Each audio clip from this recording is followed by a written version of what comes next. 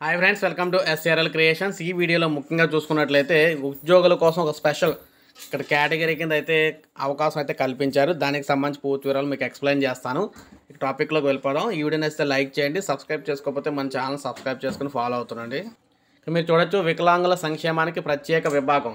మహిళాభివృద్ధి శిశు సంక్షేమ శాఖ నుంచి మళ్ళీ తెరపైకి విభజన అంశం అనమాట సర్వీస్ నిబంధనలు ఉద్యోగుల మధ్య అంతరాలు పథకాల అమల్లో భిన్నత్వం దృష్ట్యా వికలాంగుల సంక్షేమ శాఖను ప్రత్యేక విభాగం నిర్వహించాలని మళ్ళీ డిమాండ్ అయితే తెరపైకి వచ్చింది రాష్ట్రంలో జిల్లాల పునర్వ్యవస్థీకరణ సమయంలో వికలాంగుల సంక్షేమ శాఖను రాష్ట్ర మహిళాభివృద్ధి శిశు సంక్షేమ శాఖలో విలీనం చేస్తూ రాష్ట్ర ప్రభుత్వం నిర్ణయం తీసుకుంది. విలీనం అయితే చేశారు కానీ ఇతర శాఖలో ఇరు శాఖల అధికారులు ఉద్యోగుల మధ్య అంతరాలు తగ్గట్లేదు.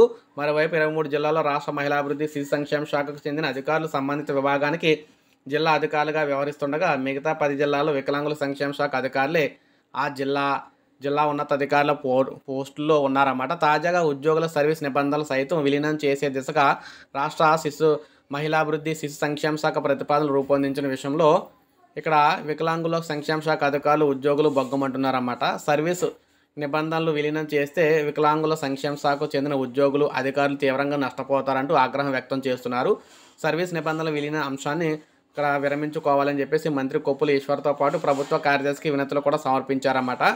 సో ముఖ్యంగా చూసుకున్నట్లయితే వికలాంగులకు సంక్షేమ శాఖను సైతం ప్రత్యేకంగా నిర్వహించే డిమాండ్ అయితే ఉద్యోగులు వికలాంగ సంక్షేమ సంఘాలు ముందుకు తెస్తున్నాయి.